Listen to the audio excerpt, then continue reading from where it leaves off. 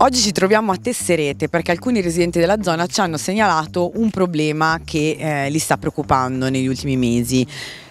Dietro di noi si trova un muro di questo palazzo dal quale fuoriescono acque di scarico. Praticamente la condotta fognaria si è rotta e eh, acque di fogna effettivamente fuoriescono dal muro fino al suolo, arrivando anche in strada in alcune situazioni. Ecco, siamo qua con il signor Conrad che è uno dei residenti toccato dal problema perché vive a fianco al condominio in questione.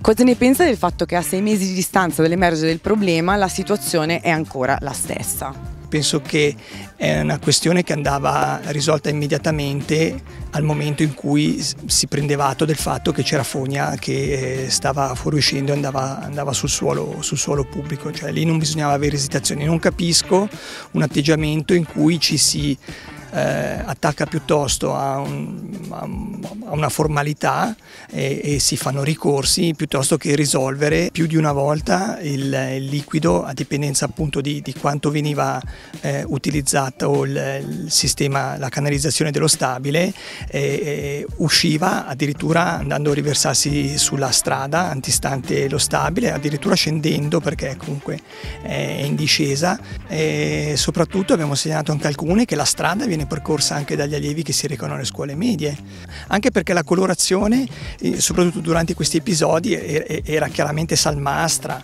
parte che è stata confermata anche dal, dall'ufficio tecnico del comune che ha ispezionato le canalizzazioni che si trattava proprio di condotta fognaria. Quindi per voi la situazione è insostenibile? Per noi la, no, direi per tutti coloro che eh, transitano per il quartiere e devono comunque eh, vedere questa situazione è veramente insostenibile dal punto di vista eh, e maleodorante e igienico. Il comune ha dato ordine al proprietario dello stabile di ripristinare la situazione normale facendo i dovuti lavori, ma il proprietario si è rifiutato e ha anche fatto ricorso al Consiglio di Stato. La situazione è quindi ferma al momento e i residenti della zona sono esasperati.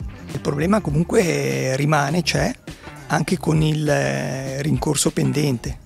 La situazione diciamo, paradossale è legata al fatto che eh, quando si viene a conoscenza di una situazione del genere bisognerebbe agire e riparare immediatamente onde ripristinare una situazione igienica ma non direi accettabile, dovuta. E lei ha avuto contatti anche con gli inquilini dello stabile in questione, cosa ne pensano?